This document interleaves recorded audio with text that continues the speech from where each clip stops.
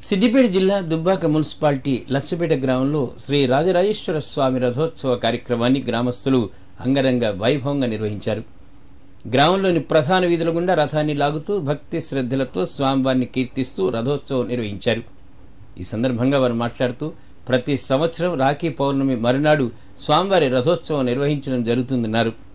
రథోత్సవ నిర్వహణ వలన ఆ స్వామివారి ఆశీస్సులు గ్రామంలోని ప్రజలపై ఉండి వారంతా ఆయుర ఆరోగ్యాలతో సుఖ సంతోషాలతో ఉంటారని భక్తుల ప్రగాఢ విశ్వాసమని అన్నారు.